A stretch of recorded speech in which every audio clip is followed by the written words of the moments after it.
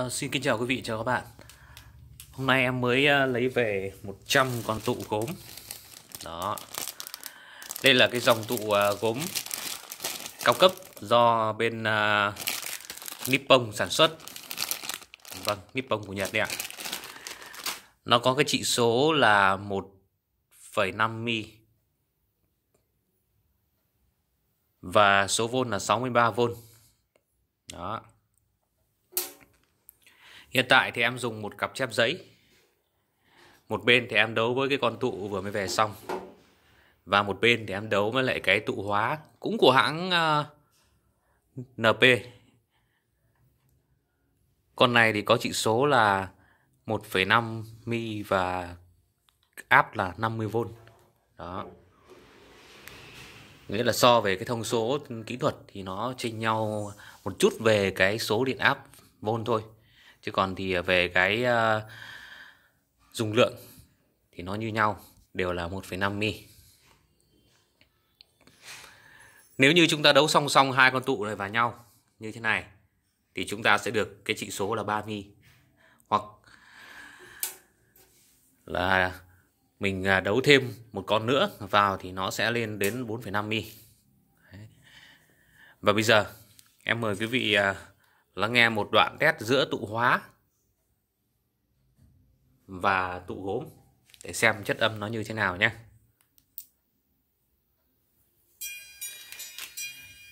Đây hiện tại là em đang mở con uh, tụ hóa lên nha, con tụ hóa đang kêu nha.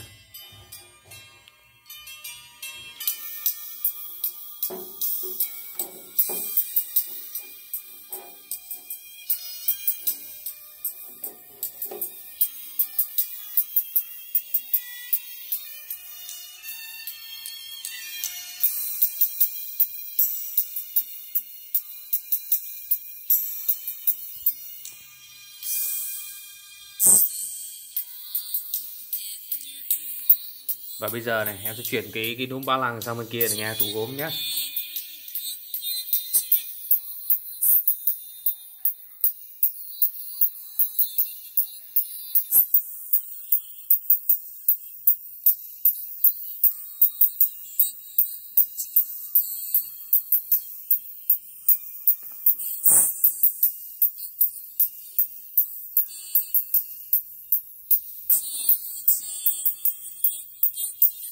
đó quý vị có thể thấy được cái uh, âm sắc nó khác nhau như thế nào rồi đúng không? Bây giờ em lại quay lại nhé.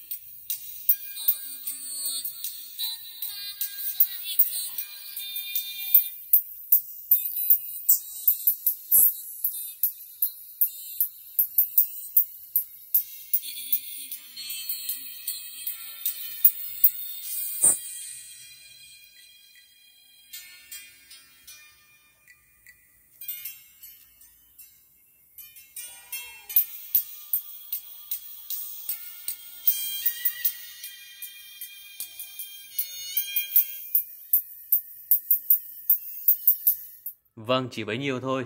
Là quý vị có thể hiểu được là cái ờ, âm sắc giữa hai cái dòng tụ này nó khác nhau như thế nào. đó.